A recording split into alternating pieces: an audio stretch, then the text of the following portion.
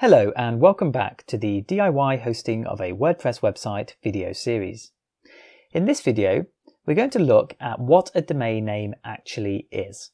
And we're going to answer the question, do I really own my domain name? But before we get on to that, a big congratulations. If you've been following this course through, in your last video, you managed to get a WordPress website running in a Docker container next to its required SQL database, also in a container, passed through your router on port 80 to the outside world, so that if you typed in your uh, public IP address in a browser, you would get a website. So well done, you are hosting your own website on your own Raspberry Pi. It's quite an achievement. So you've done it. But have you? Well, as mentioned, as alluded to, a domain is required. You don't have a domain, well, you absolutely need one. You don't want to have to type in your IP address in order to navigate to your website. It's also not indexable by the search engines of today. Therefore, you won't be um, receiving much traffic to your website through search engines. You're basically running your website on the dark web. So we need a domain.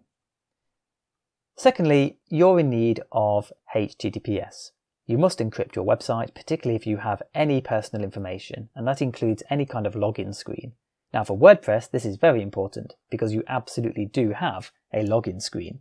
The CMS itself requires authenticating through a login screen, so you absolutely do need encryption.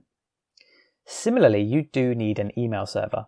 Now you can use email servers that already exist, like Gmail, Yahoo, Hotmail, uh, but it's much more professional if you have an email server which represents the domain of your website, and we'll be looking at how we can do that in a later part of this course.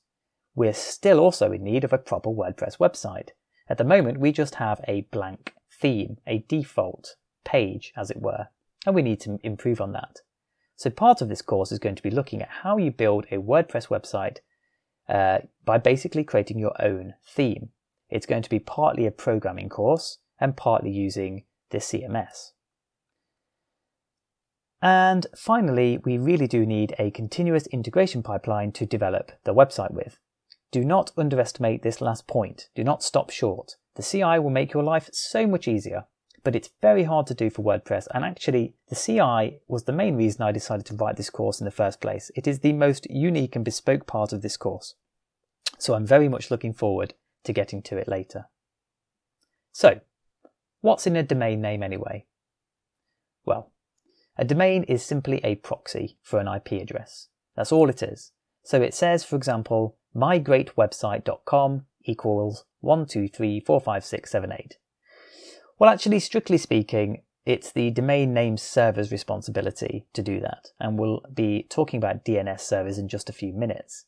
But a DNS server will basically make that relationship happen.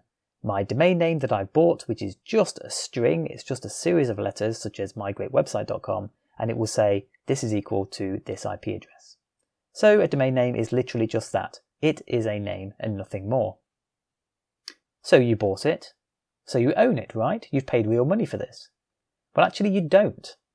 You lease it for a year, and this is why you have to pay annually.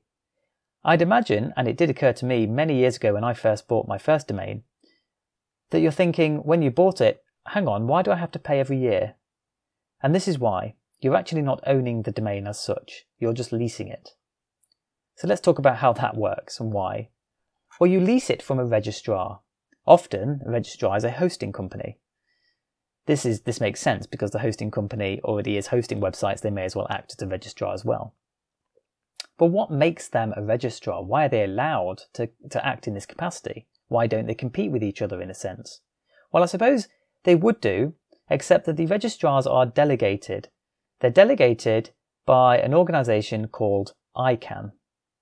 And ICANN stands for the Internet Corporation for Assigned Names and Numbers. It's a non-profit American organization.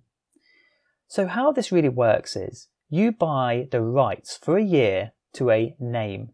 So it's essentially a namespace, a unique namespace on the internet. And your registrar is what makes the connection between you personally, so your name, your address, and your phone number, which you would have had to have put in when you bought the domain and that name.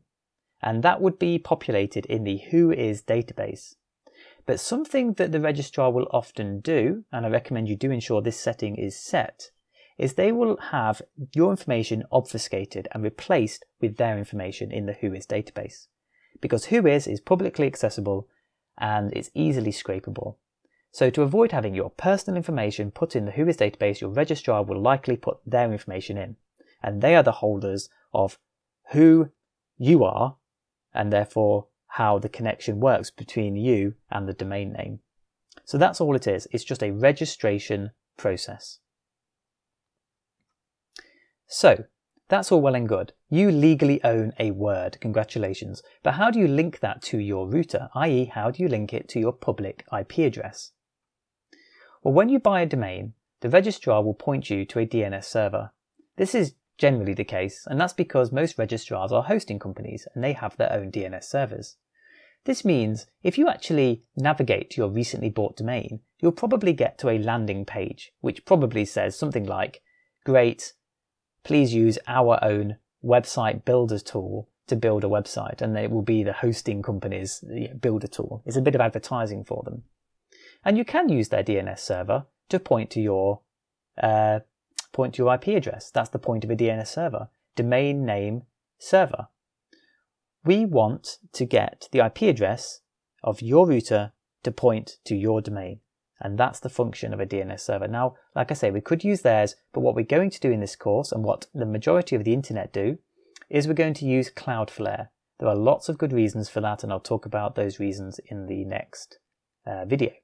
But we're going to be using Cloudflare. So the next thing to do before you move on to the next video and to close off this video is go and create a Cloudflare account. It's completely free but we're going to be using it to host our website's name and relate it to our router's IP address. And it does this because Cloudflare, for the most part, is just a well-established domain name server.